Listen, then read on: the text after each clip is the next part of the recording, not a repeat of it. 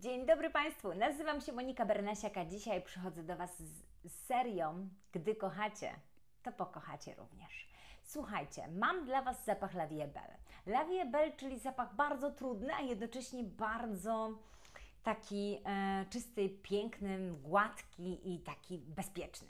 Dlaczego powiedziałam bezpieczny? Dlatego, że mm, ten zapach niby jest słodki, niby paczulowy, niby ciężki, esencjonalny, a jednocześnie wybierany bardzo często w ciemno.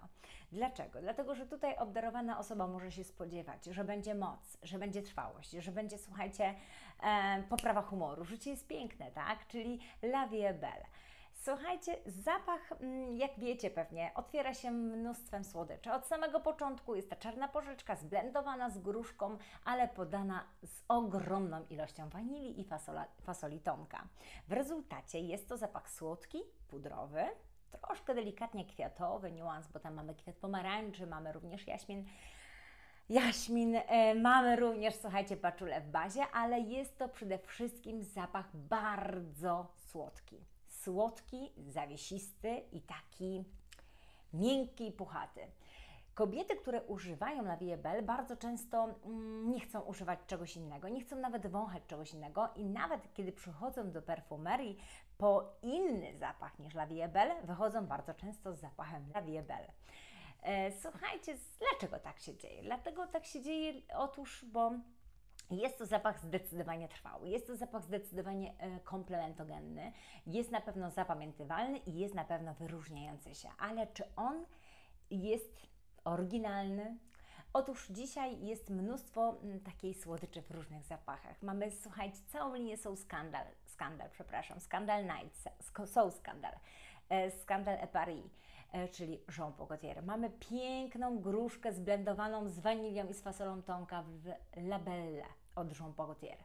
Mamy również przepiękne akordy słodyczy w Elisab, zblendowane z migdałem, czy też E, z maliną, na przykład w Angel Nova. Słuchajcie, piękne akordy to nie to samo. Czasem jest tak, że po prostu osoba, która kocha jakiś zapach, nie będzie się dobrze odnajdywać w innych zapachach. Ja, żeby stworzyć ten film, dość długo e, sprawdzałam reakcje klientek, które noszą La Vie Belle na te zapachy, które tutaj pokażę. Zapamiętywałam to, zapisywałam, a dzisiaj chcę Wam to przekazać. Otóż, jak ktoś kocha La Vie Belle, to bardzo często będzie mu się podobało. Coś z tego, co zaproponuję. I zaczynamy. Pierwszy zapach to Jimmy Choo. Klasyk nad klasyki. Słuchajcie, zapach, który wyszedł rok wcześniej od La Vie Belle, czyli 2011 rok. Zapach stworzony przez Olivera Polsza, czyli również m.in. perfumiarza, który stworzył też e, La Vie Belle. La Vie Belle stworzyło trzech perfumiarzy. Anna Filippo, Dominik Ropion i oczywiście Oliver Porsche. Zapach, który również ma mnóstwo słodyczy, mnóstwo paczuli w bazie, jest wanilia, jest również słodycz taka e, sorbetowa gruszki. W rezultacie jest to zapach, słuchajcie, bardzo e, taki esencjonalny, taki gęsty, zapamiętywalny, inaczej brzmiący, bo to nie są zamienniki, słuchajcie, La Vie Belle. Jeśli macie ochotę na zapach podobny do Laviebel, to kupcie po prostu jakiś flanker Laviebel. Ale jest to duże prawdopodobieństwo, że kobiecie zakochanej w Laviebel spodoba się Jimmy Choo EDP. Jest to zdecydowanie zapach bardzo trwały, bardzo wyróżniający się, taki esencjonalny i zawiesisty. Dla mnie myślę, że nawet fajniejszy i ciekawszy niż La Vie Belle, aczkolwiek to jest moje prywatne zdanie. Jest w ogóle niedoceniony, dlatego można go kupić w świetnych cenach, w promocjach, więc wydaje mi się, że warto, warto go sprawdzić, warto go potestować. Czym on rzeczywiście pachnie? To jest, słuchajcie, słodycz podana trochę z taką nutą goryczy, z nutą kwaskowości. Dla mnie naprawdę fenomenalna trwałość. Polecam, potestujcie koniecznie. Kolejny zapach to zapach stworzony przez Dominika Ropiona, czyli Elisab Girl of Now Forever. Zapach, który się otwiera słodyczem. Jest tutaj mnóstwo fantastycznej słodyczy. I znów znajdziemy czarną porzeczkę, znów znajdziemy, słuchajcie, akordy wanilii. Tutaj e, jest jeszcze migdałowy, taki akord miękkości, takiej, słuchajcie, słodyczy migdałowej. Mamy również mnóstwo kwiatów pomarańczy, mamy jaśmin, mamy fantastycznie podaną paczulę w bazie. W rezultacie jest to zapach bardzo esencjonalny, zawiesisty, słodki, niepikantny, nie, tylko nie kwaśny też, tylko bardziej miękki i mleczny. Bardzo taki otulający i tak czysto czysto brzmiący. Nie wpada absolutnie w chemiczne akordy. Mamy malinę w składzie, mamy trochę cytrusów, mamy takie akordy trochę migocenia. Oprócz właśnie e, kwiatu pomarańczy, migocenia daje właśnie ta cytrusowa nuta, e, podobno uzyskana ze skórki cytrusów. Słuchajcie, zapach y, też jest słodki, też jest. Ciepły, też jest balsamiczny i też jest otulający. Więc y, w bazie znajdziecie jeszcze, które fantastycznie pracuje na naszej skórze po czasie drzewo kaszmirowe. A drzewo kaszmirowe daje takiego poczucia właśnie puchatości, które znacie z Lavi Ebel. Polecam, potestujcie, zapach naprawdę bardzo, bardzo dobrej jakości i również dużo, myślę, bardziej budżetowy niż Lavi Ebel. Koniecznie sprawdźcie również Zadik i Volter. Zapach This is Love. Zapach, który jest, słuchajcie, zblendowany fantastycznie z ogromną ilością słodkiej wanilii, z ogromną ilością również takiego pikantnego imbiru. Ja to lubię bardzo. To jest coś zadziornego, coś, co się po prostu gdzieś tam będzie e, wyszczególniać, wyróżniać i będzie na pewno zapamiętywalne i komplementogenne. Mamy również sporą dawkę takiej cierpkiej nuty fiołka i oczywiście w bazie również e, piżmo i paczula. W rezultacie zapach miękki, gładki, przyjemny, esencjonalny, zawiesisty i bardzo, bardzo trwały. Polecam, potestujcie koniecznie. Może Was naprawdę ten e, pikantny akord wręcz uzależnić i tak zahipnotyzować. Kolejny zapach, który tak naprawdę jest pierwowzorem La Vie Belle, to Victor Rolf Flower Bomb w wodzie perfumowanej. Zapach, który wyszedł tak naprawdę o rok wcześniej niż La Vie tak? Mamy tutaj rok 2011 i mamy, słuchajcie, początek nowej ery w perfumach. Mamy początek ery gourmand, czyli słodycz, słodycz i jeszcze raz słodycz. Tutaj tę słodycz uzyskano nie za pomocą słodkich właśnie owoców, nie za pomocą fasolitonka, ale za pomocą zblendowanych kwiatów. Mamy Victor and Rolf Flower Bomb, czyli bomba kwiatowa. Odpalmy tą zawaleczkę i rzućmy granatem, będzie się działo. Jest tutaj przede wszystkim, słuchajcie, moc kwiatów dosłodzona wanilią.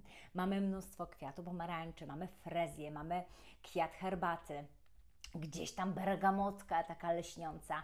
W rezultacie jest tutaj czuć, y, czuć właśnie taką herbacianą nutę kwiatów. Piękna róża, ale podana w inny sposób, aniżeli na przykład mm, e, w Tresor in Love, tak? Albo na przykład w Montal Intense Cafe. W ogóle inna, inaczej brzmiąca róża. Mamy mnóstwo akordów takich paczulowych, gęstszych, esencjonalnych. W rezultacie jest to zapach bardzo trwały. Niektórzy twierdzą, że zdecydowanie mniej pachnący, mniej trwały po reformulacji, ale jak ktoś nie znał tego sprzed reformy, to i tak będzie zadowolony. Myślę, że naprawdę Flower Bomb należy do zapachów e, z długim ogonem. Troszkę będzie droższy pewnie aniżeli La Vie Belle, ale jak macie ochotę na zmianę, to zdecydowanie polecam, potestujcie. Ja na przykład wolę bardziej esencjonalną wersję e, Flower Bomb Nectar, ale Myślę, że i ten, i ten jest, e, jest na tyle fantastycznie zawiesisty, że będzie po prostu fajnie pracował na Waszych skórach. Więc testujcie, testujcie, testujcie i jeszcze raz testujcie. I kolejny zapach, który ja bym mogła polecić dla kobiety, która nosi La Vie Belle, to Signorina. Signorina wersji Ribelle. Słuchajcie, co my tutaj mamy? Mamy przede wszystkim akord plumerii. Plumeria to jest najpiękniejszy kwiat na świecie. Jest okrzyknięty kwiatem zakochanym. Podobno legenda brzmi, że po zapachu plumerii mężczyźni potrafili nocą odnaleźć domy, przy których jeśli kwitła plumeria, to kobiety po prostu szukały, szukały mężczyzn do zamąż pójścia. E, Brzmi też taka legenda, że jak kobieta nosiła w kwiatach plumerię, we włosach, przepraszam, plumerię, to również szukała mężczyznę. Plumeria pachnie migdałowo-słodko. Plumeria ma mm, taki taki uzależniający i odurzający zapach. Więc mamy tutaj mnóstwo plumerii, mamy również akordy maliny. Dla mnie jest ta malina niewypisana oczywiście, jest ona brzmiąca w sposób taki czysty, taki jak mogłaby malina brzmieć. Czasem się zastanawiam, od czego to zależy, co tam w nutach nam podadzą, prawda? Jeśli składników jest na przykład tak jak w Lavie Bell, podobno 80 kilka, a w nutach mamy wypisane 12 czy 15, to czego tam oni nam nie pokazali, nie, po, po, nie, nie, nie ujawnili, czego co tam e, zużyli po drodze, robiąc ten e, zapach. Y, Podobno legenda brzmi, e, że przy tworzeniu La Vie Belle e, wszyscy właśnie z tych trzech perfumiarzy dodali to, co kochają najbardziej. No cóż, i wyszło takie dzieło sztuki. Signorina, teraz o. Signorinie. Ribelle, czyli zapach, który jest przede wszystkim taki delikatnie miodowo-migdałowo-mleczny. Mamy właśnie akord laktanowy, czyli słuchajcie, taki e, miękki, taki też otulający, bardzo soczysty, bo mamy również akord e, takich e, ciepłych, przeszywających, wręcz herbacianych nut soków owocowych, ale ciepłych soków, nie mroźnych, nie, nie od, odrzucających, tylko tak przyciągających uwagę. Mamy również akordy, e, oczywiście paczuli w bazie, jest mnóstwo e, kremowości, takiej zmysłowości. W rezultacie jest to zapach bardzo bogaty, bardzo esencjonalny, bardzo zawiesisty i wydaje mi się, że naprawdę fantastyczna trwałość w świetnych cenach, dostępny mm, wszędzie i w ogóle nie jest, słuchajcie, taki taki, taki pospolity. Jest to zapach po prostu oryginalnie brzmiący, więc naprawdę wydaje mi się, że to jest dobry argument, żeby go spróbować. Jak już znacie zapachy, które ja mogę zaproponować mm, na zamianę na, la- za La Vie Belle, to zaproponujcie mi, jakie Wy macie zapachy, które wy, wy moglibyście zaproponować kobiecie, która kocha La Vie Belle i od lat tylko ten zapach używa, a ja na pewno wykorzystam to w swojej pracy. Dziękuję Wam pięknie za oglądanie, miłego dnia i do usłyszenia.